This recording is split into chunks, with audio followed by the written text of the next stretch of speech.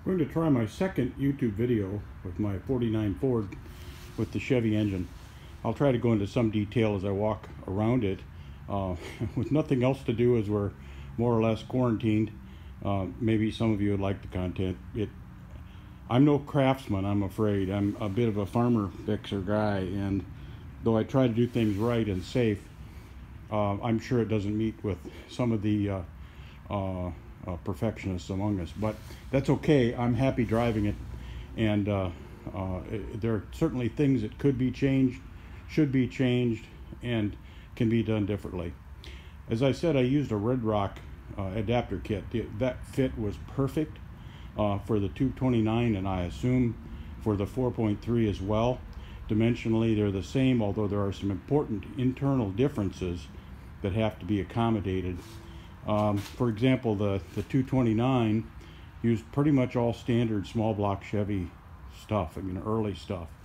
So the flywheel, clutch uh, was all the same and I used a the short water pump and drives uh, from the earlier uh, small block which gave me more room up front so I didn't have to run the lower radiator hose underneath the engine or under the front axle. I had enough room there. Uh, it worked out very well. That's about all I can say about the engine, uh, except to say that, that that 229 is a semi-odd fire, which means the crank journals are split, but not uh, evenly. And so my biggest single problem with this was trying to find the correct distributor and make that uh, fit. Because 4.3s are an even fire, meaning the crank journals are split. So it fires, I'm trying to think how many degrees, but you know, it splits the fire evenly whereas the 229 is not. Uh, that compares somewhat to the Buick 3.8, which the early ones were a complete odd fire. I mean, they, they weren't they weren't close at all. There were some big gaps between uh, firing spacing. So uh, I did finally find the right new Proform distributor, which fit in. And then the next task was trying to get the crank pin uh, spacing matched with the reluctor and actually I found a, a source on the internet from a, a, British source of hot rodding the two the uh, Chevy V6s and that's what helped me. But it's in it runs it runs pretty good. Uh, my original attempt at a carburetor uh, was a used marine uh, carburetor Holley that I adapted to the dual jet manifold with a stack of adapters that I made a flat plate to close off the EGR, um, a second adapter, a quadrajet to Holley with another plate, then the Holley 4 to 2, and so I ended up with a Holley on top, Holley 2 barrel. However, it was not directly above the, the ports, it was actually back a little bit. So it ran and, and worked fine for my purposes, but I'm sure it wasn't something that would be uh, terribly efficient. I never had any drivability problems with it, other than the carburetor was not right.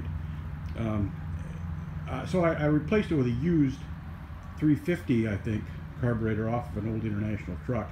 It had a vacuum governor, but in the use I have, you never get into the vacuum governor to even cause it to govern. You just whatever the throttle is. As you can see, uh, there is a foot throttle. The hand throttle is there, but it's just for decoration.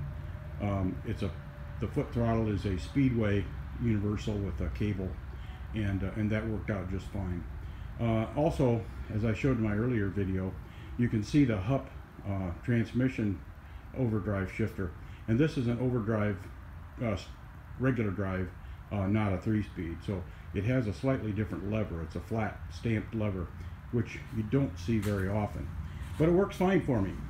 Now, the other thing that I had to do uh, with the kit because I wanted headers to look like a, a sprint car or something, open headers, uh, I had to accommodate them with some spacing. So I spaced the axles out and then I dog put a dog leg in the uh, radius rod to clear. Now initially I didn't have the dog leg on this side. I spaced out the, the pivot wall on this end. But that was less than satisfactory. I had trouble keeping that tight. So uh, I have since added the dog leg. It seems to work fine. And there is a dog leg on the other side uh, that I built originally. It's a little different style, but uh, I did that. That clears the headers and uh, give me sufficient room, and it still does pivot. Uh, as far as the front axle, I, am not still totally happy with the front wheels. The stance is okay, it's level, but those are 4x12 um, bolt, uh, wheels that were sold as tractor puller wheels.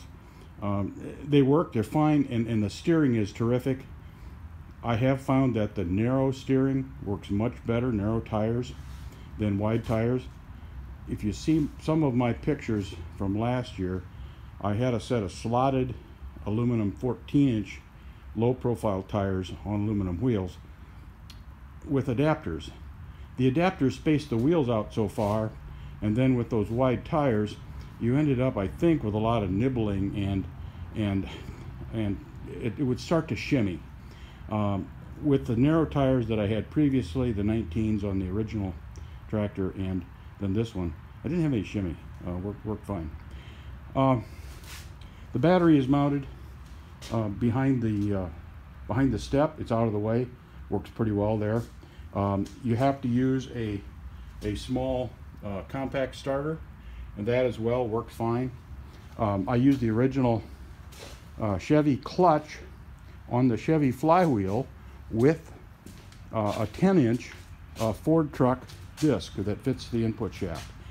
Um, the instructions with the Red, Red Rock kit are clear, but rather incomplete. There's much detail that you must figure out yourself as you put the thing together. And, and in fact, that's part of the fun of the, of the whole project is, uh, is figuring out how to make it run. But uh, what I found was when I got it together initially, I didn't even need to adjust the clutch pedal. Uh, everything was fit so well. Now ultimately I did fine tune it, but initially I had clutch, clutch uh, disengagement with no problem.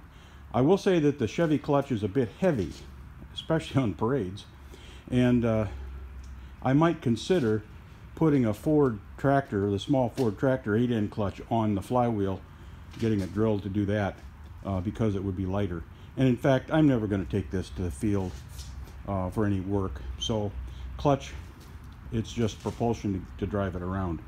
Um, I have used my, my boom pole on this before I built the fuel tank. Um, and so it does work. Everything works on it. Uh, and it, it really works okay. I did replace the steering box with the later adjustable steering box to solve an initial terrible shimmy problem and uh, and I've had that in place for three years. Worked fine. Um, I did use a replacement four-core radiator and a cheap, make that inexpensive, 16-inch fan off of eBay, bolted right to the frame, uh, screwed right in. It did, it took no modification at all. As far as electrical system, I use relays for most everything. I have a relay for the fan. I have a relay for the fuel pump I have a relay, a grounding relay for the starter so that I can keep the transmission interlock and so that starter button just grounds the relay which then powers the starter. So I left that safety in place. Um, I also put a relay in the charging system. Uh, it has a, uh, I guess the, the small Hitachi type um, alternator. It's a mini alternator, quite available on, on eBay. And uh, it worked fine. Um, I, I, just wanted to isolate that alternator uh, from the system when the tractor is off. I do disconnect the battery terminal whenever I turn it off. Um, additionally, I put the voltmeter on its own little bracket. Down here, that seemed to be the only place I could find for it.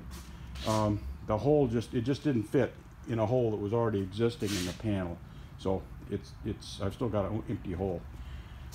The fuel system is a two gallon fuel, square fuel cell.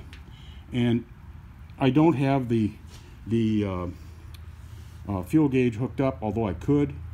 Uh, but it's in place and it feeds through a, a system of valves. I can run it on just the, the tank, the, the two, two gallon. I also built a, a frame to hold the eight gallon cell that's mounted to a Harbor Freight uh, quick hitch. I've used Harbor Freight quick hitches for some other projects as the basis for the hitch connection. Worked okay. I'm kind of lazy when it comes to fabricating. So this worked well. Uh, and I do have the Red Rock prop in place to hold it up for drives. Um, I can take it out, raise it up and down, but uh, I use that prop. I used a set of Sanderson uh, tight fit headers, which are really designed for a Jeep swap. Uh, they're not symmetrical. They aren't exactly the same uh, because of the clearance issues in a Jeep, but they look okay. They put the outlet in the right spot, uh, and then I finished them off with a another inexpensive eBay part, uh, some motorcycle mufflers. And I apologize, I haven't done any cleaning or shining on this thing since I put it back together uh, this spring. Now, the wheels, I've had several questions about the wheels. These are just a set of core 445 uh, 22.5 tires that I found on a consignment sale.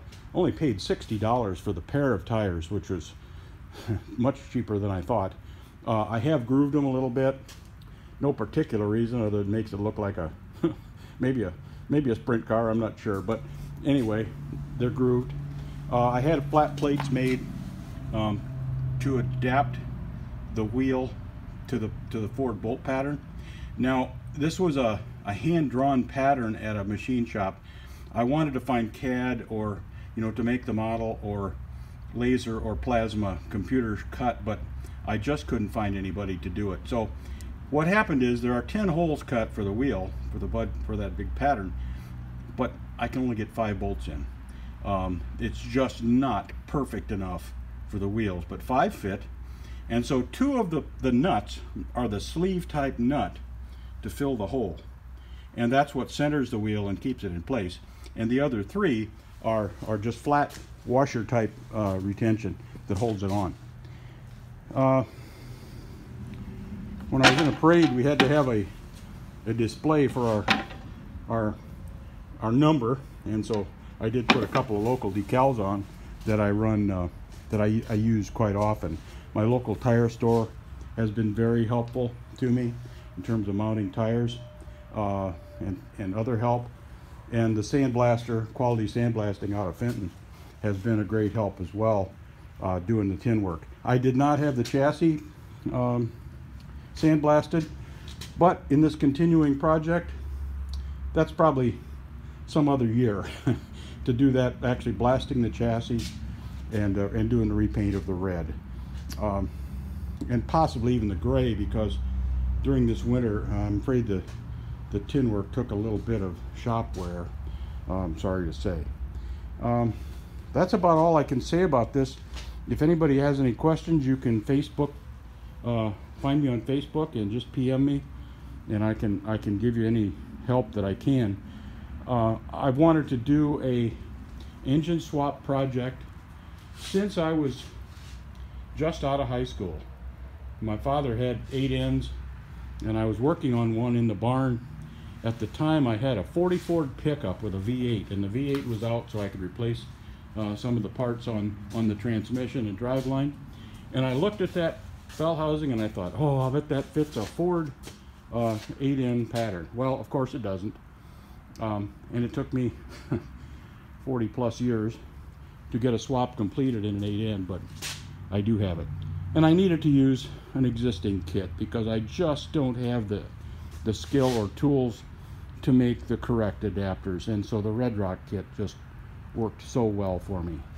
Um, I guess I don't really have anything else. I did put some permanent tie downs on. These are forged ends through the through the axle with clevises that keeps a little of the uh, chain rash off the paint job, even though my paint job isn't that good. Um, I hope you find this this interesting. It's configured for my tractor drives. Uh, it easily keeps up in the drives. Uh, I did use a set of reproduction fenders on it just because I was in a hurry and didn't want to spend the time uh, on my other fenders. So it is what it is. And uh, again, I, it, when I take it to the car show uh, here in town, I get just tons of people asking about it. You know, some recognize the engine, some recognize the tractor. Uh, Grandpa had one. Uh, and I'm sorry to show you all the messy garage. Um, I will go over here and show my next project, which will show up on the, the Jacobsen site. but it's a Jacobsen golf course tractor. It already goes 50 miles an hour, um, so I won't worry about having to do an engine swap on that one. Um, and I also have oh four or five more 8Ns in a in storage um, that are needing various things. So uh, more content and probably too long of content, but I know people have questions and with nothing else to do as we're locked down, some of us, um, you may enjoy it. So enjoy it. Uh, PM me if you need, if you want some help or advice. Uh, I'll be happy to do it. Uh, and believe me, you can do this and complete an installation in far different ways than I have. Um, this suits me. So if you're going to do a swap, suit yourself and have a ball. Thanks.